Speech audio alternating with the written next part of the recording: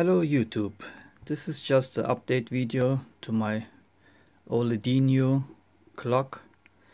I added a charge, LiPo charging board in it and made the RTC a little lower.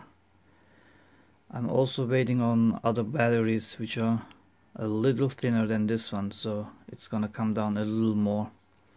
Of course it has a on off switch now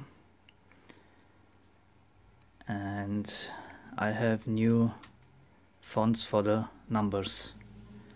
And this is the internal voltmeter that shows the charge of the LiPo battery this is the temperature which the sensor is in this RTC chip in it.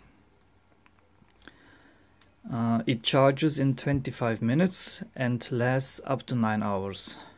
Of course you can have it plugged in by your USB port or any 5 volt charger. I will be making custom cases for this also. Uh, either 3, 3D printed or out of clear acrylic. Which the clear acrylic would be nicer, I think.